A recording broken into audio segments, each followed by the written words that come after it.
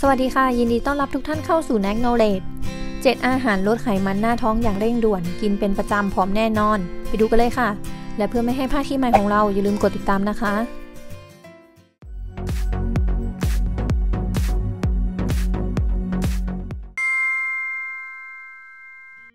แนกเป็นคนหนึ่งนะคะที่ว่าพยายามลดหน้าท้องอยู่แต่มีปัญหาตรงที่ว่าไม่ว่าจะพยายามขนาดไหน ไขมันรอบๆ หน้าท้องของเราก็ไม่มีท่าทางว่าจะลดลงเลย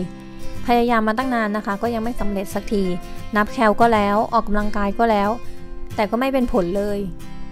สำหรับเรื่องของการลดหน้าท้องแล้วไม่สำเร็จบอกเลยนะคะว่ามีหลายคนที่เป็นแบบนี้ค่ะ เพราะไขมันบริเวณหน้าท้องนะคะ เป็นไขมันที่ลดได้ยากที่สุด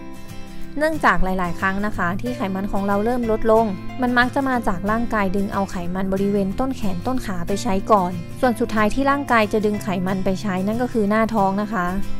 รวมกับบริเวณหน้าท้องของเรามีไขมัน 2 ชั้นทำให้การลดหน้าท้องเห็นผลได้ช้าค่ะ แต่ถึงแม้ว่าจะดูเป็นเรื่องที่ต้องใช้ความพยายามอย่างมาก ก็ยังมีวิธีที่จะช่วยลดหน้าท้องได้อย่างเร่งด่วนอยู่นะคะ นั่นก็คือการเลือกกินอาหารที่เหมาะสม แล้วอาหารที่เหมาะสมก็เป็นอาหารลดไขมันหน้าท้องอย่างเร่งด่วนได้ นั้นจะมีอะไรบ้าง วันนี้นะคะแนทก็จะมาบอกอย่างแรกเลยก็คือปลาแซลมอน ในเนื้อปลาแซลมอนมีไขมันดี มีโปรตีนที่ดีคาร์บต่ำมาก โอเมก้า 3 DHA แล้วก็ยังมีวิตามินดีสูงด้วยนะคะ ซึ่งในนาทีนี้นะคะ วิตามินดีถือว่าเป็นสารอาหารที่สำคัญมาก ๆ เพราะมีงานวิจัยออกมานะคะว่าผู้ที่มีวิตามินดีในร่างกายเยอะ หากมีการติดเชื้อโควิด อาการจะน้อยกว่าผู้ที่ขาดวิตามินดี หากใครที่อยู่ในช่วง work from home และไม่ได้ออกกำลังกาย และไม่ได้ออกจากบ้านไปโดนแดดเลย การกินปลาแซลมอนนะคะ ก็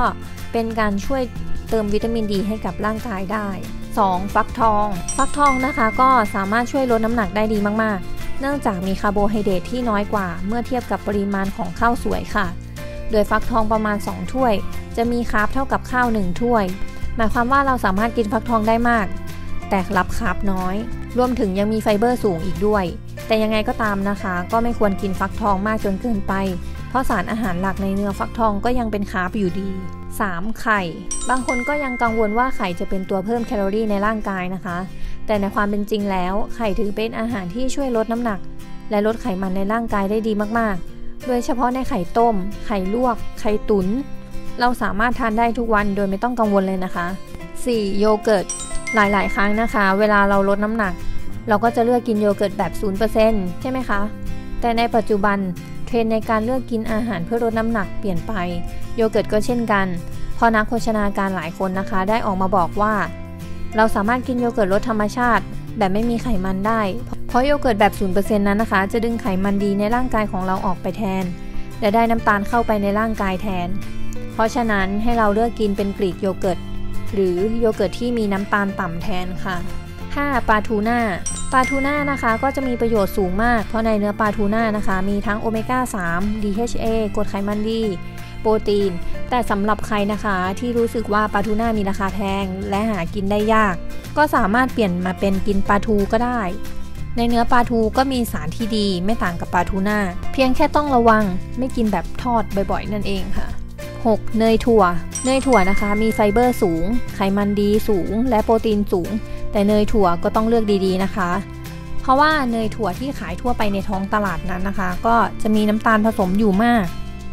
ดังนั้นนะคะก่อนที่จะกินเนยถั่ว ต้องอ่านฉลากโภชนาการให้ดีก่อนค่ะ 7. เบอร์รี่ ผลไม้กลุ่มเบอร์รี่นะคะ ไม่ว่าจะเป็นสตรอเบอรี่บลูเบอรี่มัลเบอรี่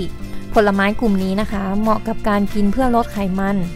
เพราะมีไฟเบอร์สูง carb ต่ำโดยเฉพาะกากใยในผลไม้ตระกูลเบอร์รี่ จัดเป็นกากใยที่เหมาะอย่างมากนะคะสำหรับคนที่ต้องการลดไขมันค่ะ ถ้าใครที่ต้องการลดไขมันหน้าท้องนะคะ ก็ลองนำอาหารทั้ง 7 อย่างที่แนะนำไปรับประทานดูนะคะยังไงถ้าคลิปนี้มีประโยชน์ก็อย่าลืมกดไลค์กดแชร์ กดติดตามเป็นกำลังใจให้ด้วยสำหรับวันนี้แน็กโนเลดขอลาไปก่อนนะคะ สวัสดีค่ะ